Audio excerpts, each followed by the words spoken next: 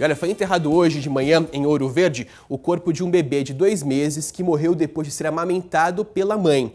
Olha só, repórter Rubens Nakato está comigo, está no ponto, eu consigo chamar ele? Se tiver, ele traz informações ao vivo pra gente. Agora sim, Nakato está aqui no telão. Bom dia, Nakato. Bom dia, Casagrande. Bom dia a todos. Olha, segundo informações da Polícia Civil, a mãe de 18 anos que mora num sítio alegou que amamentou o filho durante a madrugada.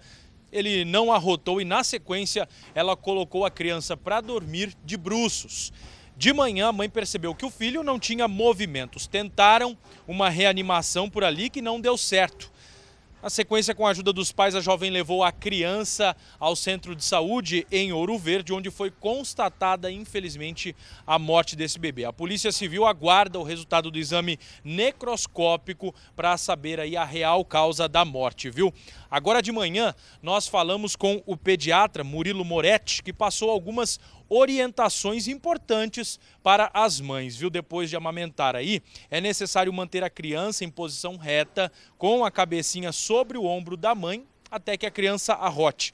Se não arrotar, manter aí o bebê nessa posição por até 15 minutos, explicou o médico. E nunca colocar a criança para dormir de bruços. O bebê deve estar com a barriga para cima e também com a cabecinha de lado. E se por acaso engasgar, ele mesmo vai acabar tossindo e não ter o perigo aí de aspiração.